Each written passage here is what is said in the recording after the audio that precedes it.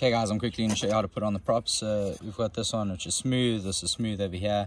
And literally just mount it down and as I said, you're going to turn it over the back. So let's go like that.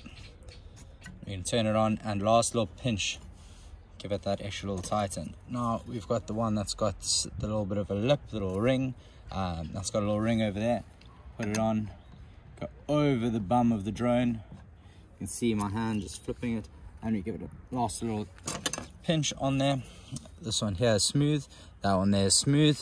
So we're to quickly put it on. And over the head of the drone. There we go. And finally last one. You can see this got a little bit of a ring. This has got a ring over it. And we're to do it like that. And that's it. Just you always want to make sure you add that little pinch on the end. Just make sure that it's nice and tight.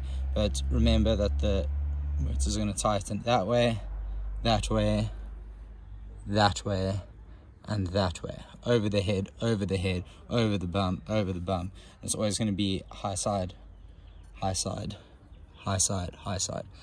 And that's it, guys. Simple as that.